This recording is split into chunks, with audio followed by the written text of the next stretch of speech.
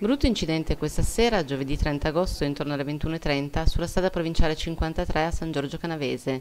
A scontarsi due Renault Clio. Una ha terminato la sua corsa fuori strada contro ad un cartello di segnaletica stradale, mentre l'altra si è fermata sul ciglio della careggiata.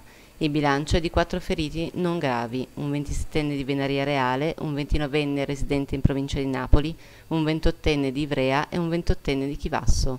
I quattro, dopo essere stati stabilizzati dai sanitari, sono stati trasportati al pronto soccorso. Sul posto sono intervenuti i vigili del fuoco di Ivrea per la messa in sicurezza delle vetture. La dinamica del sinistro è al vaglio dei carabinieri della radiomobile di Ivrea e della stazione di Azeglio. La provinciale rimasta chiusa al traffico il tempo necessario per permettere ai soccorsi di operare.